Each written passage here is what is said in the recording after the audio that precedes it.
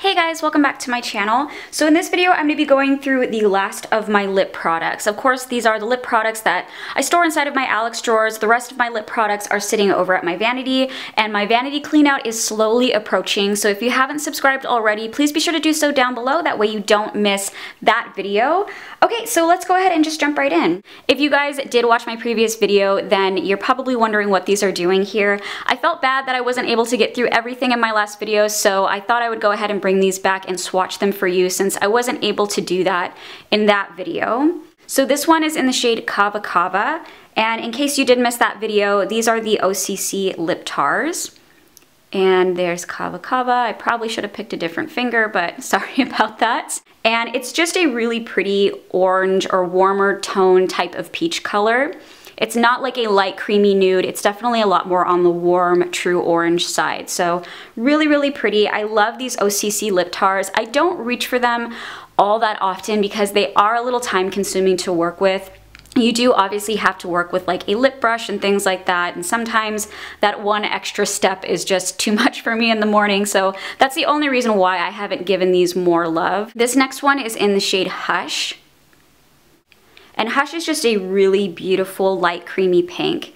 Super, super pigmented. A little dot of these goes a really long way. The only other thing that is kind of aggravating about these is that if you haven't used them in a while, a lot of oil will come out because they do almost feel like an oil paint on your lips. So they can get a little bit messy, but I love the colors. They're so beautiful. They're so fully pigmented. So I am going to be holding on to the both of these. So diving into my lipsticks, I have these first two and these are by Sephora. This first one is in the shade R24 and this one is in the shade R17. So this one is R24. This is obviously a true deep plum, kind of like a black plum color. I feel like I have other things like this. I like the formula of this over the Wet n Wild one. I'm thinking of a Wet n Wild lipstick that I have that looks very, very similar to this. And if you guys watched that video, probably know what I'm talking about. It's kind of like a deep, dark black eggplant color. I do like something that's more of a matte type of formula versus something like this that has a little bit of shine and sheen. I can just see this getting everywhere if I use it. I am super, super accident prone, so trust me, if anyone would get this everywhere, it would be me. So that's the only reason why I'm gonna go ahead and let this go. I do feel like I have other colors that look very similar to it, and I prefer more of a matte formula for more of these kind of deep shades. This next one is R17. This is just my kind of color. It's a rosy pink, but it's got a mauve tone to it. And it's a little bit more on the medium side. It's really, really nice. I love the pigmentation and the texture of these lipsticks. They're very smooth. They have a little bit of a sheen to them. They obviously have great color payoff as well. So if you haven't already checked out the Sephora makeup section, I highly recommend it. I always find little random hidden treasures in there. So Definitely worth checking out, and I am gonna hold on to R17. This next one is by NARS, which I am completely obsessed with this lipstick. It makes me not even want to use it because it's so pretty with like the embossed logo on there. Oh my gosh, so freaking cute. And this one is in the shade Anita. I love this color. I feel like it's really unique. It's almost like an orange nude. It's like a rose and an orange tone mixed together. It's so pretty. This also has a little bit of a satin type of finish. It's not super mattifying, but I love the coverage of the Audacious lipsticks. I was never a fan of those first NARS lipsticks that came out. I never felt like they showed up on me. But the Audacious lipsticks I think are absolutely gorgeous. There's another one that I have and I think it's either in my handbag or my vanity and I love that one as well. So I'm definitely going to hold on to Anita. This next one is by Smashbox and it's in the shade Honey. And don't judge these lipsticks based on how unused they are. Obviously, there's a lot of things in here that have been barely used, but that doesn't speak to how much I like them. It just speaks to my laziness. So please don't judge it on that. I do like a lot of these colors. I just have barely used them. And honey is more of a warm honey color. I think that's absolutely perfect. It's definitely more on that tan orange side. I feel like this is something that would look so beautiful if you have a tan in the summertime with the bronze and the glow. So I absolutely love this. this is another one with kind of a sheen type of finish. So I am gonna hold on to Honey as well. This next one is by Makeup Forever, and this is their Rouge Artist Intense in the shade 23. I really, really love the Makeup Forever formula for their lipsticks. They're really long lasting, and they just have such great pigmentation. So I'm definitely gonna hold on to this. Forewarning guys, you're probably gonna see a lot of nude lipsticks. They're my favorite, so Sorry about that. This one is by the company Lipstick Queen and I picked this up from Ulta probably around a year ago and this one is in the shade Peach Nude Center. And there's that one. So you can see it's a little bit more unique than the other ones. I want to say that it actually reminds me a lot of the Makeup Forever color. It just has a little bit of a deeper, or I'm sorry, different finish. It seems to be more satiny where the Makeup Forever is more of a matte. And the Lipstick Queen one seems to be a little bit deeper in tone as well. So I really do love this. Again, I love my nudes, so I am to hold on to this one. Lipstick Queen lipsticks have amazing formula. If you guys have not tried them out in Ulta, they are so smooth. They glide on so easily. They don't feel like stiff on the lips or anything. They just feel really comfortable and um, just really creamy and smooth. So highly recommend this brand for lipsticks. This other one technically isn't a high-end brand, but it's from Victoria's Secret. Here is the shade Scrumptious. And this one is just more of like a true peach, like a warm peach color. Really, really pretty. Looks a lot like everything else I know, but I am gonna hold on to it because I do really like it. This next one is by Too Faced, and this is in the shade Naughty Nude. No surprise there. Another nude lipstick, and there's Naughty Nude. So this one is actually a little bit more on the sheer side. It almost comes out like a really glossy type of formula. I do think that this is really pretty, but I am gonna put it in the maybe pile. I feel like it looks very similar to everything else, and I'm just not crazy about the fact that this isn't quite as pigmented. I'm gonna go ahead and have to test this one out, but Right now I'm kind of leaning towards no. Oh, oh, wrong cap, hello. That's better. Next one is this one by YSL, and this is their Rouge Volupte in the shade 26. And this is their peachy color and there it is there. This is the smoothest, most silky lipstick of life. If you guys own one of these, then you know what I'm talking about. But it's almost kind of like a double-edged sword with this one because the formula on these are really silky and luxurious, but at the same time, because they're so silky, I find that these are not the most flattering on my lips because they settle into the fine lines really, really easily. So as much as I like the color, I'm actually not a fan of the formula on my actual lips, but I do think I'm gonna hold on to it. It's my only YSL lipstick and it is a really pretty color. It's just like a very warm kind of strawberry peach. So this next one is by Lorac and this is in the shade Nude Scene. So this is just kind of like a standard pinky brown nude. Really, really pretty. It's not as heavily pigmented as say like the Makeup Forever one. It is a little bit more on the sheer side, but still a really pretty lipstick. Love the color, so I will hold on to that as well. This is another one by Lorac, and this is in the shade Premier, and these Lorac lipsticks do have SPF 15 in them as well, which I love. And there's Premier. So Premier is a little bit more of a rosy nude. It has a hint of mauve in there, but it's more on like the light to medium tone. Really, really pretty, and I do think I'm gonna hold on to this one as well. This next one is by Benefit and it is in the shade Jingling. And let's swatch. So there's Jingling. Jingling is a super, super creamy formula. A lot came out at once when I swatched it. And it's just a really beautiful, creamy, rosy pink. On me, this would probably just look like a straight pink. So I'm actually gonna put this one in the maybe pile as well. I like the formula, it's really creamy, but it's actually too a little bit messy. So not crazy about that, but that one also goes in the maybe pile. This next lipstick is by Topshop and I know, I know the packaging is so gross. This used to be entirely white. Don't ask me what happened. I don't know if the cap fell off of another lipstick or what went wrong, but it turned into like a total disaster. But this one is in the shade Frared and I'll go ahead and swatch it here. So there's that color. This is another one of those beautiful orange reds that I cannot get enough of, obviously. The finish of this is a little bit more on the glossy side versus some of the other ones that I've shown you.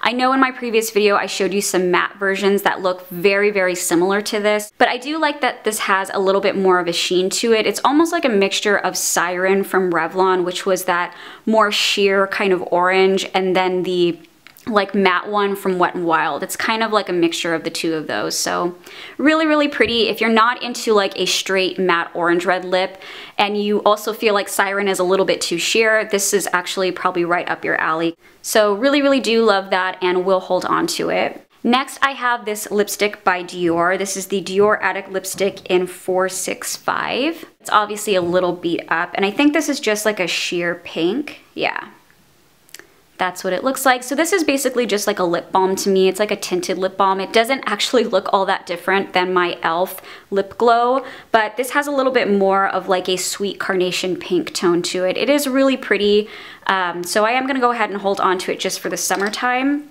just to kind of have in my bag if I wanna have a little bit of color and moisture on my lips. Next, I have this cream lip stain by Sephora, and this is in the shade 12 and it is absolutely gorgeous. It is so pigmented and creamy.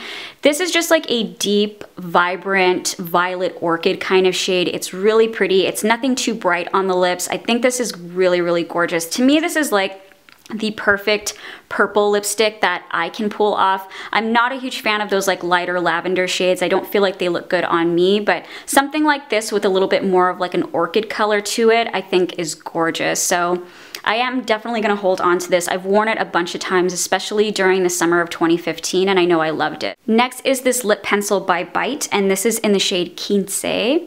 This one I wasn't that crazy about. I wanted it to look more like this. Like, do you see how this is more of like a vibrant fuchsia and then this comes out a little bit more of like a deep red?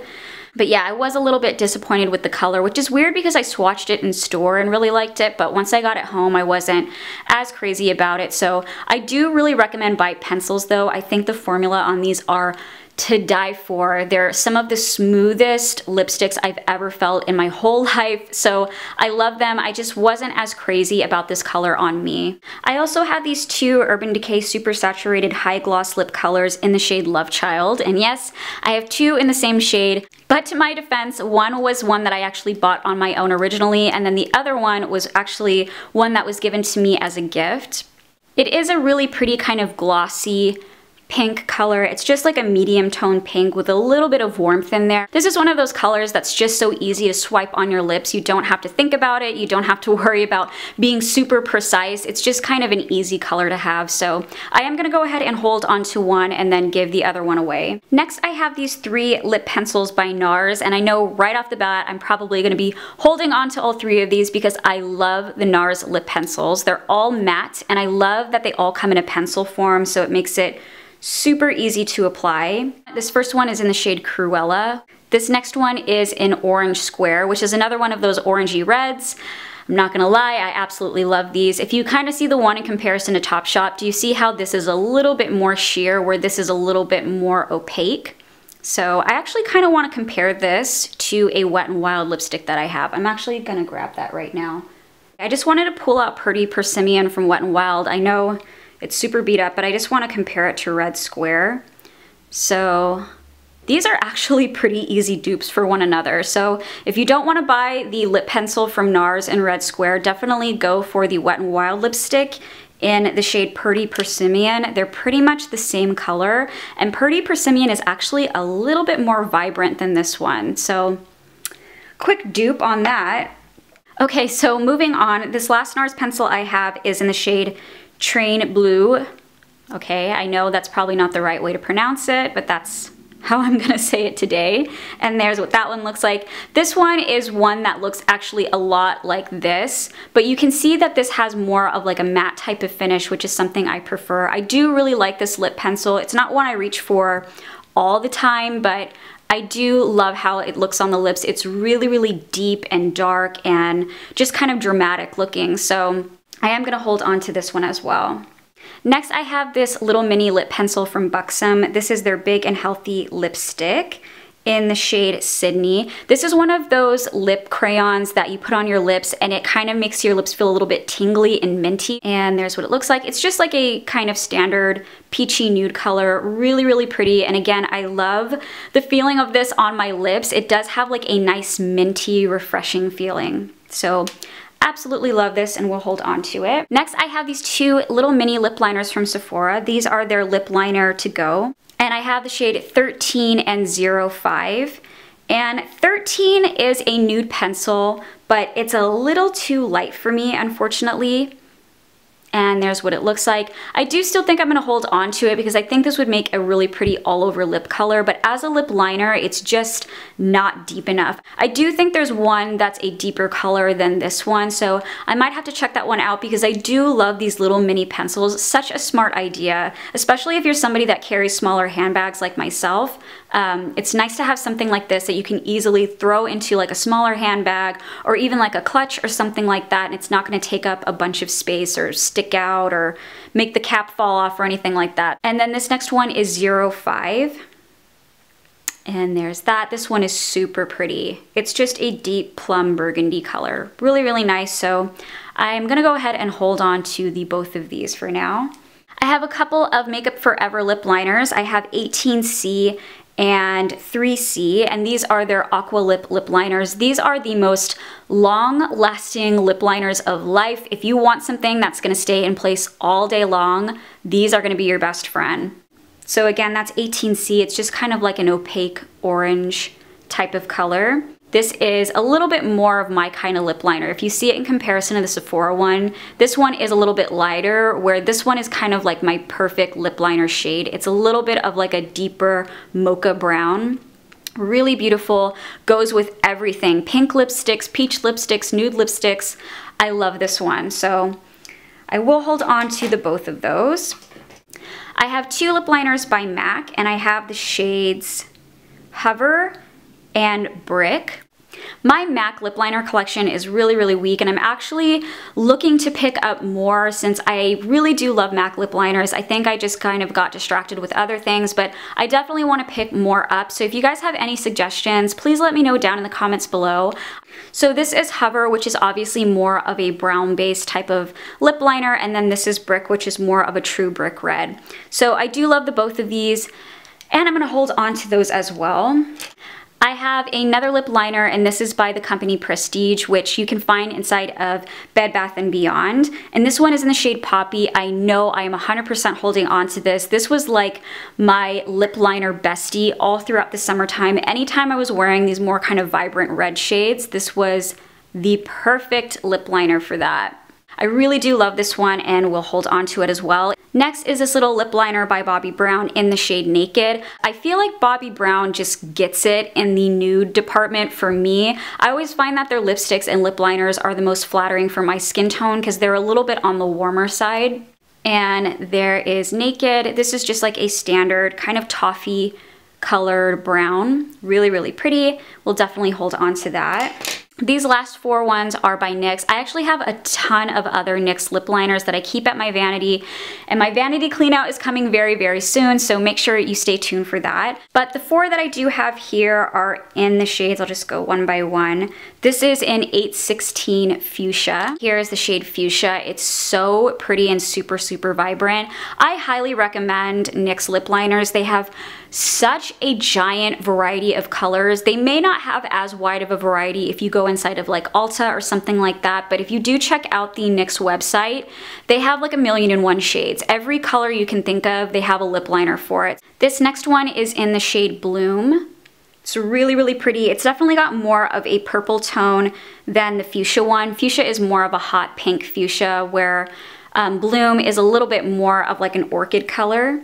Then this next one is Plum. And do you see how easy these come out? They're so pigmented, really, really nice.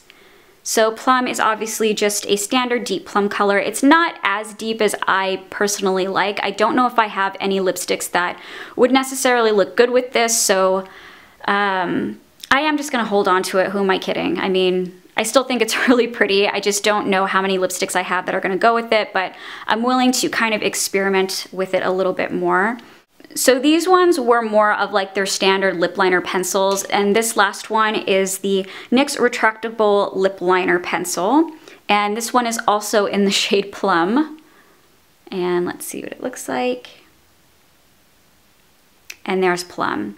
These ones are a little bit more creamy than the pencil. They come out a little bit easier. So if you like a creamier lip liner pencil, these ones are definitely the way to go. But this is also a gorgeous deep purple plum kind of color. So I'm also gonna hold on to that as well. Okay, so this is a final overview. This is everything that I'm keeping.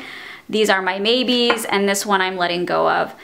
I know, I know. This one was not as easy for me, but in my other videos, especially like in my lip balms and tints and glosses, I did get rid of a lot of stuff, so I don't feel too bad that I'm holding on to most of this because I do love all of it. After this, I'm going to be going into decluttering my primers, my skincare, and then I'm finally getting to my vanity, so please be sure to subscribe if you haven't done so already, and please be sure to give this video a thumbs up. I would greatly appreciate it if you did enjoy it.